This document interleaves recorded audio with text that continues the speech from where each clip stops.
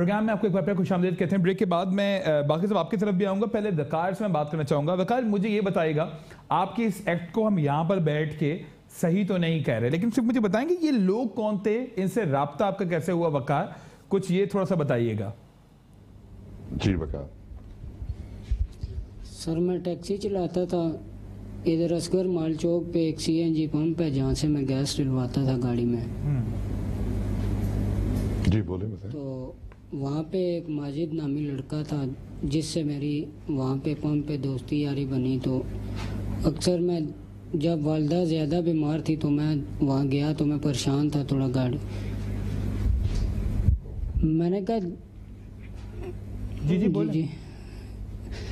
تو میں وہاں گاڑی میں بیٹھا تھا پریشان تھا تو ماجد آیا میرے پاس، مجھے کہتا ہے جی کیا بات ہے؟ کیوں پریشان ہے؟ میں نے اسے پھر جب سارا کچھ بتایا تو مجھے کہتا ہے کیا مسئلہ ہے؟ میں نے کہا، اس طرح والدہ بیمار ہے، ڈاکٹروں نے بہت زیادہ جو ہے نا خرچے وغیرہ بتائے ہیں اور اس طرح میں پریشان ہوں۔ تو مجھے کہتا ہے، میں، یہ کوئی مسئلہ نہیں ہے، میں آپ کو کچھ بندوں سے ملواتا ہوں۔ آپ ان سے بات چیت کر لو، وہ آپ کی یہ ساری ٹینشن سالو کر دیں گے، وہ آپ کی ہیلپ کریں گے نا۔ تو وہاں اسکر مال چوک پر ایک پینٹ کی دکان ہے۔ وہاں پہ خواجہ ثاقب نامی شخص تھا اس سے اس نے مجھے ملوایا۔ اچھا۔ تو اسے جب ساری بات اس نے بتائی تو اس نے کہا جی کہ کوئی مسئلہ نہیں ہے آپ کی یہ کوئی ٹینشن نہیں ہے۔ میرے کچھ دوست ہیں اور گروہ کے بندے ہیں جو ہم جو ہے نا آپ کی ہیلپ کریں گے آپ کی ساری ٹینشن دور ہو جائے گی۔ ٹھیک ہے۔ تو آپ اس طرح کرنا شام کو آ جانا۔ ہم آپ کو اپنے جو ہے نا، بڑے بھائی ہیں ان سے ملوائیں گے۔ اس خواجہ اسماعیل کا نام انہوں نے لیا۔ تو جب شام کو انہوں نے مجھے کال کی تو میں وہاں پینٹ کی دکان پہ گیا۔ وہاں پہ عمر شاہب نامی شخص تھا، ایک اور یہ خواجہ ثاقب تھا۔ تو یہ مجھے لے کر سواں گارڈن چلے گئے۔ وہاں پہ اسماعیل نامی شخص تھا۔ اس سے انہوں نے بات چیت کی تو مجھے باہر حال میں بٹھا کے یہ سب ایک روم میں چلے گئے تھے۔ تو واپس آئے ہیں تو مجھے کہتے ہیں جی آپ کا مسئلہ حل ہو جائے گا، آپ کو ہم جو ہے نا والدہ کے علاج کے لیے پیسے بھی دیں گے۔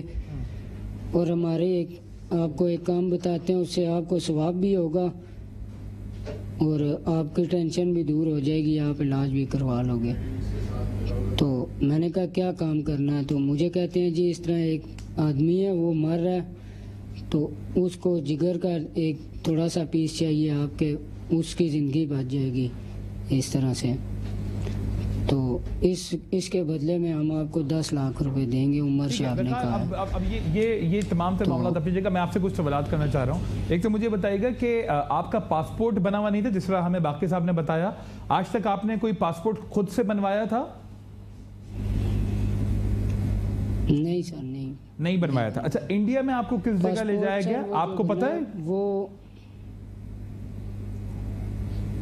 انڈیا میں وہ دلی کے قریب ایک شہر تھا نوئیڈا نام۔ نوئیڈا نوئیڈا آپ گئے ٹھیک ہے ٹھیک ہے۔ تو وہاں پر باقاعدہ کسی ہاسپٹل میں لے جا کے آپ کی یہ لیور سو کال ٹرانسپلانٹیشن کی گئی یا اس طرح کا معاملہ کیا گیا یا کوئی ایک اپنی جگہ تھی؟ کوئی ہاسپٹل میں گئے تھے؟ نہیں نہیں ہاسپٹل میں۔ ٹھیک ہے اور بعد میں ان لوگوں نے آپ سے کسی طرح کا کوئی رابطہ نہیں کیا۔ سر یہ بس اتنا ہی کہتے تھے کہ جو ہو گیا بس اس کو ختم کرو ورنہ ہم جو ہے نا اتنا کچھ کر سکتے ہیں تو تمہیں مروا دیں گے یا جسوسی کے کیس میں پھنسا دیں گے۔ تم جیلی پاسپورٹ ویزے پہ گئے ہو اور جو ہے نا اس طرح کی دھمکیاں دیتے تھے۔ ٹھیک ہے باقی صاحب میں آپ سے یہاں پہ بات کرنا چاہوں گا پھر سالم صاحب سے ہی پوچھتا ہوں۔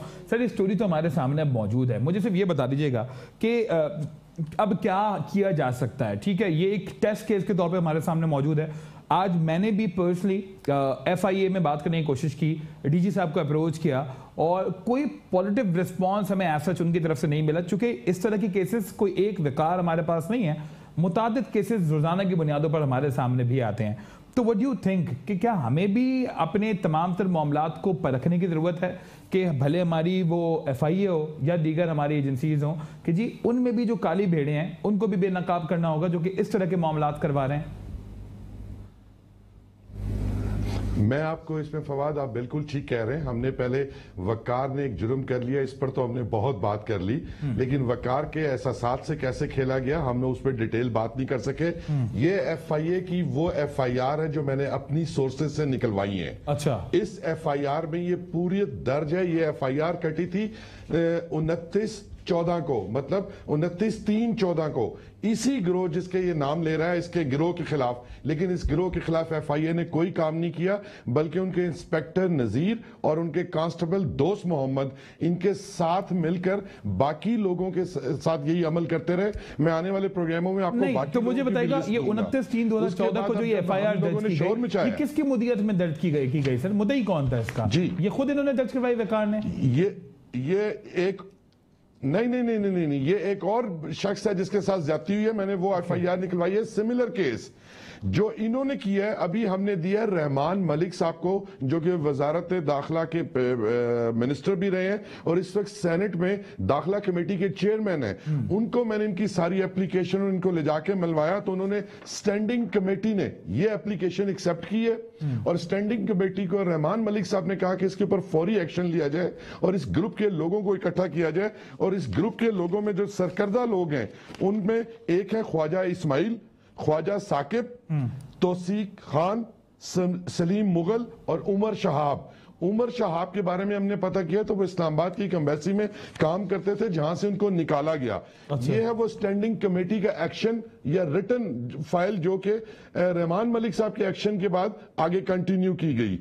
اب میں آپ سے صرف ایک بات یہاں پر فواد کہنا چاہوں گا کہ یہاں ایک چیز دیکھ لیجیے گا کہ لوگوں کے جذبات کو ایکسپلائٹ کر کے اگر خدا نہ خواستہ یہ میرے ساتھ بیٹھے ہیں شاید ان کے منہ پہ کہنا اچھا نہ لگے انڈیا میں کوئی بم دھماکہ ہو جاتا وہاں دو ڈھائی سو آدمی مارے جاتے اس کو بھی مروا دیا جاتا اور وہاں یہ پاسپورٹ اٹھا کے دنیا کو دکھایا جاتا اور کہا جاتا کہ پاکستان سے دہشت گرد آیا تھا۔ مجھے یہ بتائیں اس وقت ہم اس کو قانون پڑھاتے پاکستان کا کہ جی آپ نے بڑا غلط کیا یا اس وقت پاکستان کی پوری عزت اسٹیک پہ لگی ہوتی پوری دنیا کے سامنے۔ ہمیں ان لوگوں کو کاؤنٹر کرنا ہے، ہمیں ان لوگوں کو پکڑنا ہے، ہمارے اداروں کو ایفیشنٹ ہونا پڑے گا۔ وہاں پہ موجود وہ لوگ جو ان سے پیسے کھا کے، یہ میں غلط نہیں کہہ رہا، کیمرے پہ پبلک کے سامنے کہہ رہا ہوں۔ اور میری پوری ٹیم جرنلسٹ کی اس کے اوپر کام کر رہی ہے۔ I will come up down the line with the proofs یہ لوگ باقاعدہ ایک کانسٹیبل کے پاس اسلام آباد کے اندر اگر ساڑھے چار کروڑ روپے کی جائیداد موجود ہے، کہاں سے آئی؟ انسپیکٹر نظیر جو کروڑوں پتی ہے، کہاں سے ہو گیا؟ اس کے خلاف ایف آئی اے کیوں نہیں اٹھاتا؟ آپ نے بھی کہا کہ ڈی جی آپ کو رسپانس نہیں دے رہا، جبکہ یہ ایف آئی آر میں نے کس طرح نکلوائی ہے، یہ مجھے پتا ہے۔ ٹھیک ہے باقی صاحب میں چاہوں گا سالم بنی بھی اس پہ کچھ کامنٹ اس پہ کچھ کامنٹ کریں۔ بنی صاحب یہ مجھے بتائے گا یہ ٹوٹل سچویشن تھا میں بار بار یہ کہہ رہا ہوں کہ بھلے وہ واقعہ پنڈی میں ہو بھلے وہ لاہور میں ہو بھلے وہ کراچی میں ہو۔ لیکن ایک سوسائٹی میں ہماری یہ چیز ایگزسٹ کرتی ہے۔ اور یہ مافیا گو کے شہروں مطلب سٹی ٹو سٹی ویری کرتا ہوگا۔ کراچی میں بھی اس طرح کے اکثر کیسز ہمارے پاس آتے ہیں۔ پروبیبلی کراچی میں بھی اس طرح سے میں تو اس کو یہ کہوں گا کہ لوگوں کو استعمال کر کے اور کچھ پھر آگے جب بڑھ جاتے تو وہ ہیومن ٹریفکنگ کی طرف بھی چلے جاتے ہیں۔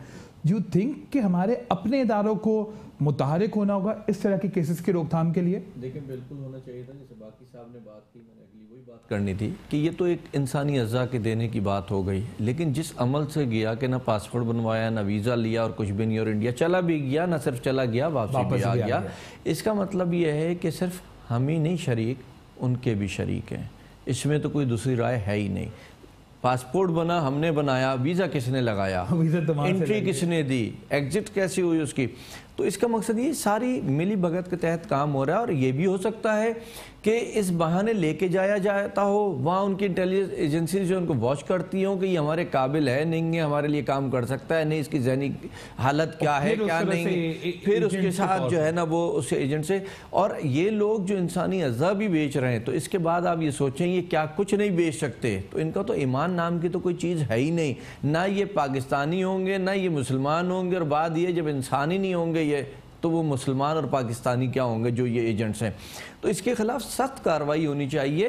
یہ عمل اس سے پہلے نہ جانے کتنے لڑکے یہ ان کے حوالے کر چکا ہوگا۔ اب اگر یہ لے جا کر کے آئندہ یا پہلے ہو سکتا ہے جو دنیا میں واقعات ہوئے پاکستانیوں کے حوالے سے پاسبلٹی ہے بہت زیادہ کہ ایسے ہی لڑکے انڈیا کے حوالے کر دیے جاتے ہوں، وہاں ٹریننگ دی جاتی ہوگی بلیک میلنگ کی جاتی ہوگی، کوئی لالچ دی جاتی ہوگی، کسی کی غربت سے کھیلا جاتا ہوگا اور ان کو دہشت گرد بنا کے کہیں واردات کرائی جاتی ہوگی۔ پاکستان میں ہی آپ دیکھ لیں آج کل جو چیزیں سامنے آ رہی ہیں انڈیا کے حوالے سے آ رہی ہیں راہ کے حوالے سے آ رہی ہیں کہ راج طریقے سے ملوث ہے تو کس طریقے سے ملوث ہے ڈیفینیٹلی یہاں کے لوگ ملتے ہیں شہر کے لوگ ملک کے لوگ۔ ایسے راہ نہیں کچھ بھی کر سکتا اپنی سطح پہ بیٹھ کر کے۔ تو یہ اس کو آپ اگر بڑی نگاہ میں لے جا کر کے دیکھیں تو یہ بہت بڑا ایک مافیا ہے۔ مافیا ہے اور بہت بڑی پاکستان کے لیے پرابلم بن میں اس سکتی ہے۔ مافیا کے بارے میں اور خاص طور پر جو ہماری اپنی سیکیورٹی ایجنسیز ہیں وہ کس حد تک متحرک ہیں اس تمام تر معاملے کے روک تھام کے لیے میں باقی صاحب سے یہ پوچھوں گا اور فرزانہ باری صاحبہ بھی اس وقت ہمیں جوائن کر چکی ہیں۔ فرزانہ باری صاحبہ، بہت بہت شکریہ کہ اس پروگرام میں آپ نے بھی ہمیں جوائن کیا۔ ایک بہت ہی امپورٹنٹ ایشو کی طرف آج ہم نشاندہی کر رہے ہیں۔ گو کہ ایک ٹیسٹ کیس ہم لائیں ایک وکار نامی شخص ہے اسلام آباد میں۔ جس کو، اس کو نہایت ہی مجبوری کے عالم میں اس کو بتایا گیا کہ ٹھیک ہے، اگر تم اپنے جسم سے اپنا لیور بیچ دو تو ہم تمہیں دس لاکھ روپے اس کے عوض دے سکتے ہیں۔ اس ایکٹ کو ہم کنڈیم کرتے ہیں کہ کوئی اپنا انسانی اعضا جو ہے وہ بیچے۔ لیکن ساتھ ساتھ اس کو انلیگل طور پر انڈیا لے جایا گیا۔ باقاعدہ طور پر اس کے پاس پاسپورٹ موجود نہیں تھا، اس کا پاسپورٹ بھی، آ گیا اچانک سے اس پر ویزا بھی موجود تھا۔ ڈو یو تھنک اس طرح کے معاملات کو بے نقاب ہونا چاہیے اور سب کو متحرک ہونا چاہیے؟